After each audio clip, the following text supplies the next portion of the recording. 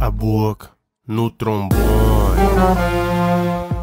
Olá para você que acompanha o portal Boca no Trombone. Meu nome é Igor Rugil, repórter policial, e hoje nós trazemos uma reportagem especial, muito triste, sobre o falecimento de uma jovem de 21 anos de idade no Hospital Universitário Regional de Ponta Grossa. Stephanie Nayara tinha 21 anos de idade.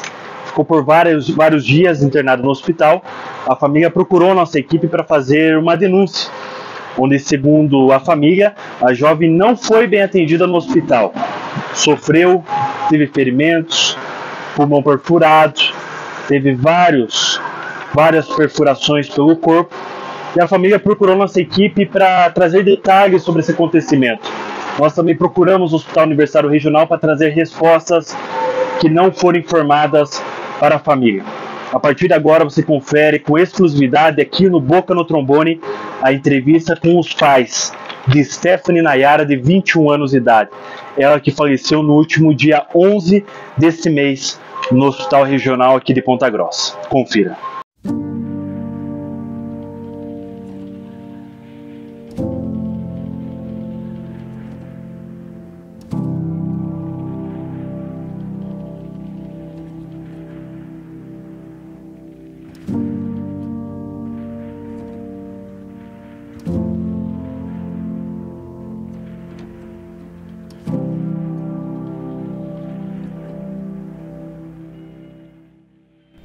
Vida feliz, muito feliz. Minha filha radiava alegria. E agora eu tenho que falar que minha filha faleceu por descaso. Com 21 anos, eu perdi a minha filha. É, em primeiro lugar, eu queria fazer uma denúncia sobre o hospital regional por descaso. Descaso com a minha filha Stephanie Nayara Vachileski. Há sete meses, minha filha deu entrada no hospital regional por crise convulsiva.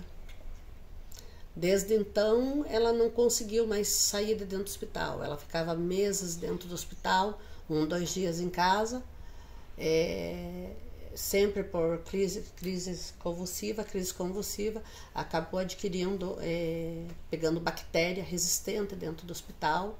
Na primeira internação, na primeira internação foi preciso fazer a tráqueo, porque eles gardenizaram tanto, tanto, tanto minha filha que minha filha não acordava. É, na primeira internação foram fazer acesso central, perfuraram o pulmão da minha filha.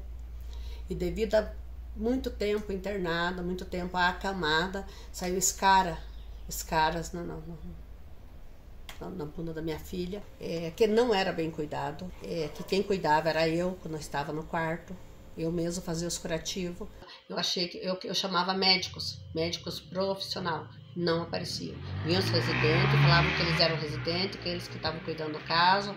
É, tudo que eu perguntava sobre remédio, porque a troca-troca de remédio, é, eles não sabiam responder. Eles falavam, nós vamos perguntar ao nosso professor, nós vamos perguntar ao nosso superior. Minha filha, na primeira internação, pegou bactéria, há sete meses atrás, então, sempre ela estava em quarto de isolamento, sempre quem ia visitar ela tinha que se parlamentar para poder entrar. Então, como que na UTI ela me pega uma bactéria resistente e leva a minha filha a, falecer? O médico inexperiente, inexperiente, residente inexperiente, foi fazer é, acesso central da minha filha e perfurar o pulmão da minha filha.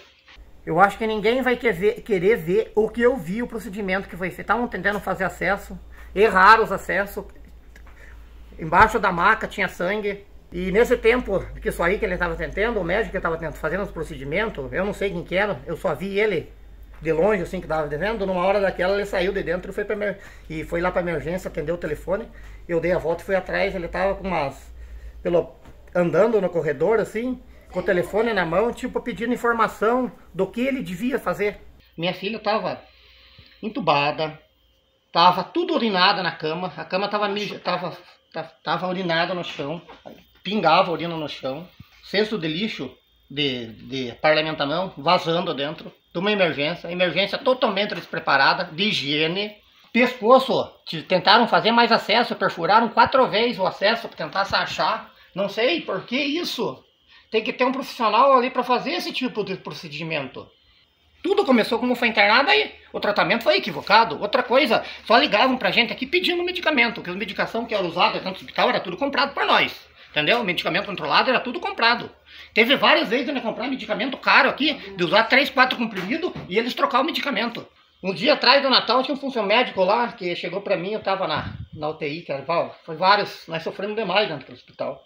Um médico chegou e falou pra mim, que tava na emergência naquele dia acompanhando, se eu não tinha condição de tirar minha filha dela de dentro. Falou duas vezes. Só que eu não dei muita atenção no caso, eu falei pra ele que eu não tinha, como eu não tenho. Era parte das três e meia da manhã, recebi uma ligação na hora que eu atendi o telefone, a doutora Kesley da, da UTI aqui, a sua filha acabou de falecer às três e pouco da manhã, bem certo, não lembrando que na hora eu fiquei alterado, só isso aí. Como que abordou uma situação dessa?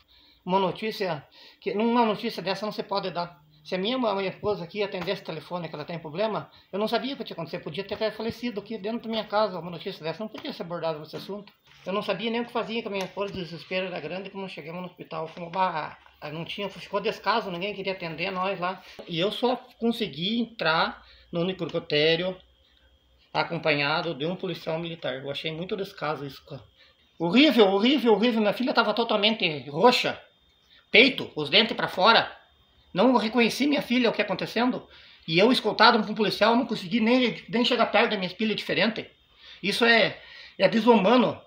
Nós não sabemos mais, nós queremos justiça. Justiça nesse caso uma investigação com o que aconteceu e por quê? Por que, que eu quero isso? Porque mais casos vão sair. Mais casos vão sair. Eu quero que acabe essa impunidade dentro do hospital regional e parem de maquiar. Parem de maquiar a instituição. É uma coisa. Os profissionais que estão lá dentro é outra coisa.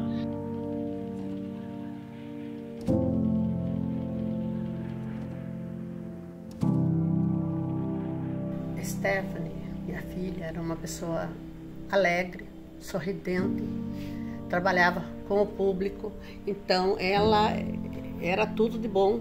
Ela nunca, nunca, eu nunca vi minha filha chorar. Eu vi minha filha chorar dentro do hospital regional.